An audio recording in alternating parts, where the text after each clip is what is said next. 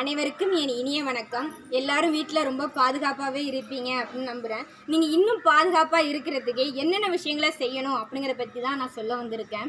எல்லாருக்கும் சில லேசாக சலதோஷம் பிடிச்சாவோ இல்லை தும்மல் ஏற்பட்டாவோ உடனே டாக்டரை போய் பாருங்கள் ஆனால் நிறைய பேர் இதுக்கு ஒரு காரணம் வச்சுக்கிறாங்க. என்ன அப்படின்னா ஏதாவது வீடு சுத்தம் பண்ணுற டஸ்ட்டுனால எனக்கு வந்து தும்மல் வருது.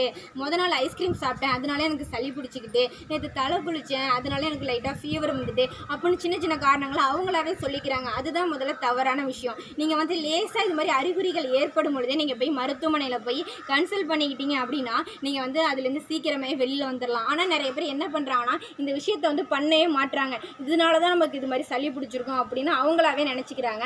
அதுதான் ரொம்ப தவறான விஷயமா இருக்குது எதுக்காக இதை நான் சொல்கிறேன் அப்படின்னா இந்த கொரோனா கிருமிகள் வந்து முதல்ல உள்ளார போன உடனே எந்த சிம்டம் சிம்டம்ஸுமே காமிக்கிறது கிடையாது. கொஞ்சம் நாள் எடுத்துக்கும். ஒரு வாரமோ ஒரு நாலு நாளோ அஞ்சு நாளோ எடுத்துக்கும். அப்போ தான் நமக்கு வந்து இது மாதிரி அறிகுறிகளே காமிக்க ஆரம்பிக்கும்.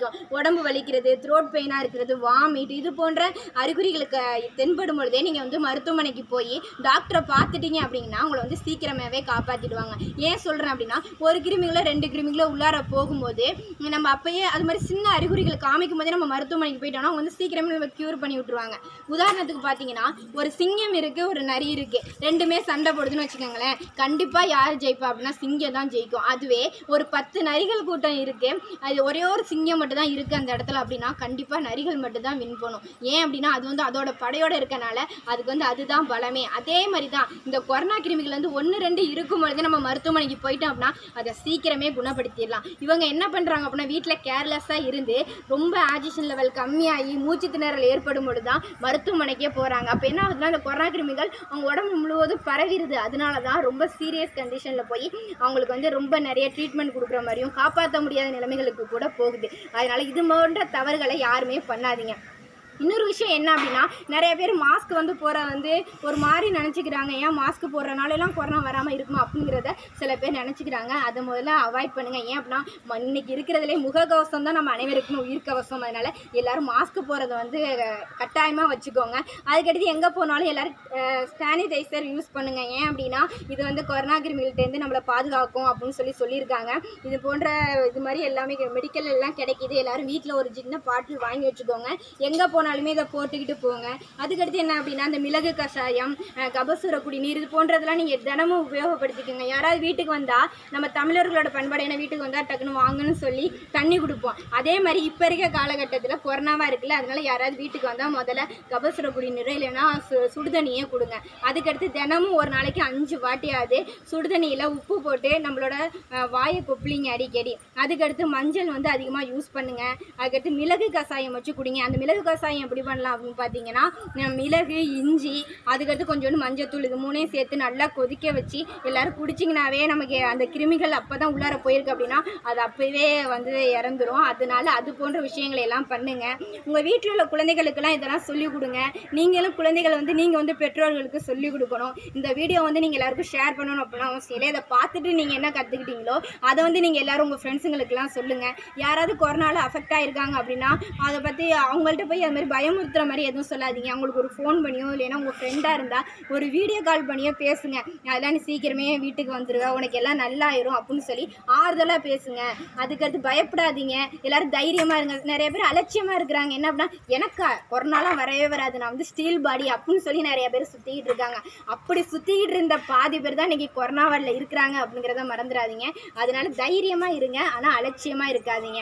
அவ்வளோதான் இந்த கொரோனா காலத்தில் என்ன ரொம்ப போர் அடிக்குது. என்னடா பண்ணுறது அப்படின்னு சொல்லி யாரும் ஃபீல் பண்ணாதீங்க. நியூஸ் வந்து காலையில் ஒரு அரை மணி நேரம் பாருங்கள் ஈவினிங் ஒரு அரை மணி நேரம் பாருங்கள் நைட் ஒரு அரை மணி நேரம் பாருங்கள் அதை விட்டுட்டு எனி டைம் நியூஸே பார்த்துட்டு இருக்காங்க. ஏன்னா அதில் வந்து போகிற நியூஸ்கள் வந்து நமக்கு வந்து கொஞ்சம் கொரோனாவை பற்றியே போட்டுக்கிட்டே இருக்கிறனால உங்களுக்கு வந்து கொஞ்சம் அச்சுறுத்துற மாதிரி தான் இருக்கும். அதனால் இது மாதிரி பாருங்கள் மற்ற நேரத்தில் நிறைய ப்ரோக்ராம்ஸ் வருது நிறைய மூவிஸ் எல்லாம் போடுறாங்க. அது மாதிரி பார்த்து ஃபேமிலியோட என்ஜாய் பண்ணுங்கள் இப்போ இது போன்ற காலகட்டம்லாம் முன்னாடி இல்லவே இல்லை. எல்லாரும் வீட்டில் வந்து எல்லாரோடையும் என்ஜாய் பண்ணவே முடியாது. ஆனால் இப்போ இருக்கிறதுல வந்து நீங்கள் எல்லாரையும் புரிஞ்சிக்கலாம். வீட்டில் இவங்க எப்படி? நம்ம அம்மா இவ்வளோ கஷ்டப்படுறாங்களா நமக்காக? நம்ம அப்பா இவ்வளோ கஷ்டப்படுறாங்களா? நம்ம தம்பி இப்படிலாம் இது பண்ணுறான் அவன்ட்டு இது மாதிரிலாம் திறமைகள் இருக்கா அப்படிங்கிறதே இந்த கொரோனா காலத்தில் தான் நிறைய பேருக்கு தெரிய வந்திருக்கு. அதனால் இந்த கொரோனா வந்து ஃபுல்லாக கெட்டதையுமே சொல்லி கொடுத்துச்சு அப்படின்னு சொல்ல முடியாது. நிறைய நல்ல விஷயங்களையுமே பண்ணியிருக்கு. அதனால் முடிஞ்ச வரைக்கும் ஃபேமிலியோட டைம் ஸ்பெண்ட் பண்ணுங்கள் உங்கள் வீட்டில் எல்லோரும் மொபைல் வச்சுருந்தீங்கன்னா எப்போ பார்த்தாலும் அதில் கேம் விளையாடுறது அதில் நீங்கள் ஏதாவது ப்ரைவேட்டாக வீடியோ பார்க்குறது சாங் பார்க்குறது அது மாதிரி இல்லாமல் ஃபேமிலியோட சேர்ந்து கொஞ்சம் நேரம் பேசுங்க மனசு விட்டு நம்ம என்னெல்லாம் பண்ணலாம் அப்படின்னு சொல்லி ஃபேமிலியோட நிறைய டைம் ஸ்பெண்ட் பண்ணுங்கள் அதுக்கடுத்து நிறைய பேருக்கு என்னென்னா அவங்க அம்மா அப்பாவோட கல்யாண நாள் அதெல்லாம் கூட தெரியாது. ஆனால் அந்த கொரோனா வந்து அது எல்லாத்தையுமே காட்டி கொடுத்துட்டு வீட்டிலே இருக்கனால உங்களுக்குலாம் என்ன பண்ணணும்னே தெரியாது. அது மாதிரி கண்டுபிடிச்சி நிறைய ஜாலியாக இருக்காங்க. அவங்களுக்கும் ரொம்ப சந்தோஷமாக இருக்குது அவங்க பசங்க வந்து அவங்க அம்மா அப்பாவோட கல்யாண நாளையோ இல்லை அவங்களோட பர்த்டேயோ தெரிஞ்சு வச்சுக்கிட்டு அவங்களுக்கு வந்து சர்ப்ரைஸ் கொடுக்கும்போது அவங்க ரொம்ப சந்தோஷப்படுறாங்க. அது மாதிரி விஷயங்களை எல்லாம் எல்லாரும் பண்ணுங்கள் இந்த வீடியோ வந்து எல்லாருக்குமே முடிஞ்ச அளவுக்கு அனுப்புங்க. நீங்களும் உங்கள் ஃப்ரெண்டுங்களுக்கு வந்து ஃபோன் பண்ணி எல்லாருக்குமே சொல்லுங்கள் எல்லாருமே பத்திரமா இருக்க சொல்லுங்கள் நம்ம எல்லாரும் ஒன்றிணைந்தால் தான் இந்த கொரோனாவிலேருந்து நம்ம வெளியில் வர முடியும். எல்லாருமே வீட்டில் இருக்காங்க நிறைய பேருக்கு. காலேஜ் ஸ்கூல் எல்லாம் போக முடியாமல் ரொம்ப பாதிக்கப்பட்டிருக்காங்க. அதனால் நம்ம எல்லாரும் ஒத்துழைச்சா தான் நம்ம வீட்டில் ஒரு பிரச்சனைனா எப்படி நம்ம எல்லாரும் ஒத்துழைச்சா தான் தீருவோம்? அது மாதிரி இது வந்து நம்மளோட நாடே நம்ம எல்லோரும் ஒத்துழைச்சா தான் இந்த நாட்டை காப்பாற்ற முடியும். அதனால் எல்லோரும் ஒத்துழைப்பு தாருங்கள். நாங்கள் வந்து ஆனந்தம் அறக்கட்டளை அப்படிங்கிற அமைப்பில் நானும் ஒரு மாணவி. இது போன்ற ஸ்டூடெண்ட்ஸ் வந்து பார்த்தீங்கன்னா இரநூறுக்கும் மேற்பட்ட கிராமங்கள் இருக்காங்க. அவங்க எல்லாருமே இது மாதிரி போய் விழிப்புணர்வுகளை ஏற்படுத்திகிட்டு இருக்காங்க. முடிஞ்ச அளவுக்கு நீங்களும் விழிப்புணர்வுகளை ஏற்படுத்துங்க. இது மாதிரி எல்லாரும் விழிப்புணர்வு பண்ணிக்கிட்டே இருக்கனால கொரோனா போயிடுமா அப்படின்னு கேட்டால் நிச்சயம் போயிடுங்க அப்படின்னா நாங்கள் சொல்கிறத கேட்டு நீங்கள் அது மாதிரி நடந்தீங்க அப்படின்னாவே நிச்சயமாக நம்ம கொரோனாவிலேருந்து வெளியில் வந்துடலாம் அதனால் முடிஞ்ச அளவுக்கு எல்லாரும் நான் சொன்னதெல்லாம் பின்பற்றுங்க. நான் வந்து ஏதாவது தப்பாக பேசியிருந்தால் உங்கள் வீட்டு பிள்ளையா நினச்சி என்னை மன்னிச்சிடுங்க நன்றி வணக்கம்.